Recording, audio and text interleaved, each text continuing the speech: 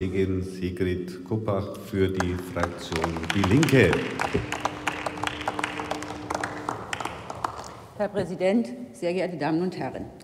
Bei der Vorstellung des Berichts zum Anerkennungsgesetz 2015 feiert die Bundesregierung das Gesetz als großen Erfolg. Warum eigentlich?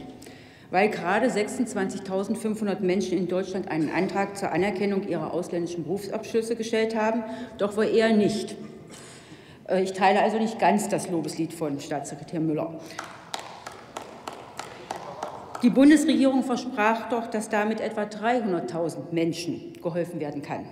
Das Ergebnis ist also unbefriedigend. Auch angesichts des hohen Interesses, was eine Million Zugriffe auf die Datenbanken zur Anerkennung von Abschlüssen zeigen. Oder ist es etwa ein Erfolg, dass dieses Gesetz weiterhin vorrangig Ärzteanerkennungsgesetz ist? Immerhin entfallen 62,9 Prozent aller Verfahren auf die Referenzberufe Ärztin und Arzt oder die Gesundheitsberufe. Das hilft zwar dem deutschen Gesundheitssystem, ist aber gleichzeitig Ausdruck der Konstruktionsfehler dieses Gesetzes auf der einen Seite und der Ausbildungspolitik in Deutschland auf der anderen Seite. Die überwiegende Mehrheit der anerkannten Berufsabschlüsse entfällt bundesweit auf bundesweit reglementierte Berufe.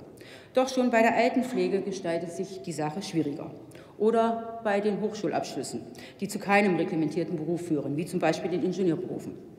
Einerseits hat die Bundesregierung erst in diesen Tagen beim MINT-Gipfel die fehlenden Fachkräfte gerade in naturwissenschaftlich-technischen Berufsfeldern beklagt. Es werden das Handwerk und die kleinen und mittelständische Wirtschaft völlig zu Recht als das Rückgrat der deutschen Wirtschaft genannt. Andererseits wird jedoch die Chance leichtfertig vertan, dem großen Fachkräftemangel in diesen Bereichen durch Anerkennung ausländischer Berufsabschlüsse zu begegnen.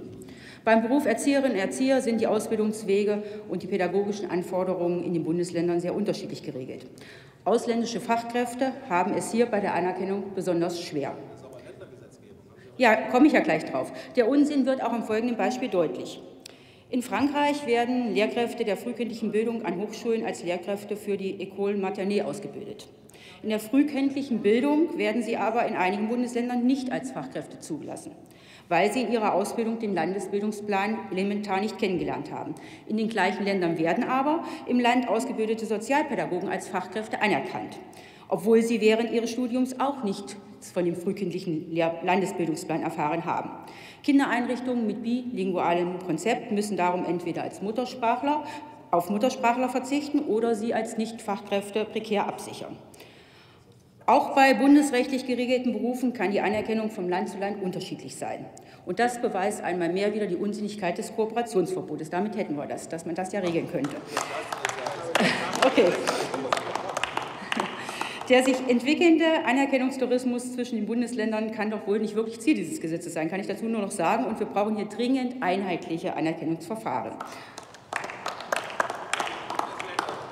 Auch noch auf einen Aspekt möchte ich hinweisen. Die fehlende Anerkennung der Berufe des dualen Systems haben auch äh, deutliche Auswirkungen auf die tarifgerechte Bezahlung. Ein klares Bekenntnis wäre es hier zu guten und gerechten Löhnen für gute Arbeit, wie dies die Sozialpartner gemeinsam mit uns Linken fordern. Wenn es gelänge, mit einem in diesem Projekt verbesserten Anerkennungsgesetz gerade auch die Anerkennung der Berufe des dualen Systems zu erreichen. Ob jemand seinen im Ausland erworbenen Abschluss hier in Deutschland anerkannt bekommt, ist aber auch eine Frage der Kosten. Diese variieren zwischen den Bundesländern und den unterschiedlichen Berufsarten teilweise sehr erheblich.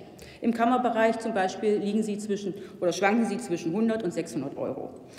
Diese Unterschiede sind doch nicht durch einen unterschiedlichen Aufwand zu erklären. Darüber hinaus äh, steht zu befürchten, dass die Kosten für eine individuelle Gleichwertigkeitsprüfung sowie für die Analyse von Qualifikationen noch weitaus höher liegen. Also das ist sicherlich kein Anreizsystem und es schreckt vielmehr ab. Liebe Kolleginnen und Kollegen, wir Linke kritisieren die Aussage im Gesetz und im Bericht mit der Anerkennung ausländischer Abschlüsse zuerst den Fachkräftemangel in Deutschland beseitigen zu wollen. Für uns stehen aber die Menschen im Mittelpunkt. Das Gesetz das Gesetz setzt hier eindeutig die falschen Prämissen. Eine wirkliche Willkommenskultur sieht anders aus. Wenn, wie die frühere Bundesministerin Frau Schawan sagte, die Anerkennung der Abschlüsse eine Frage der Gerechtigkeit und des Respekts vor der Qualifikation von Menschen sei, dann muss an diesem Gesetz und an der Anerkennungspraxis wohl noch heftig gearbeitet werden. Vielen, vielen Dank.